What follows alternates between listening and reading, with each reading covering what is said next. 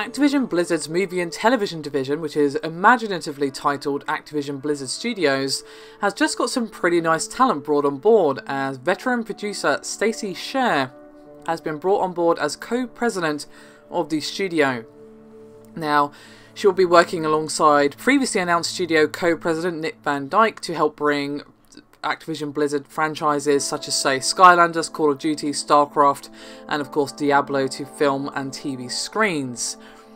Now, Sher has more than 20 years of experience under her belt producing for film and TV and has collaborated with directors of some real weight, such as, say, Quentin Tarantino and Steven Soderbergh, on a number of films.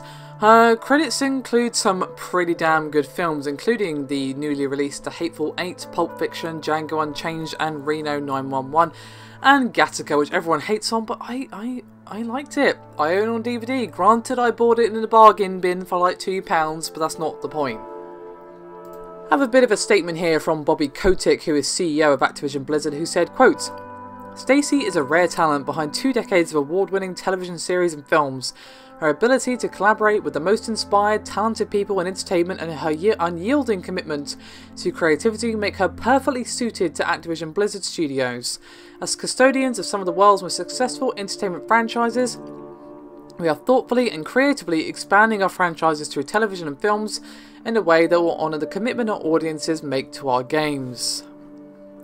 Now, of course, you may remember that back in November they did announce their plans to pursue both movie and TV projects, and they are, of course, developing an animated Skylanders TV show as well as a quote robust cinematic universe based on Call of Duty.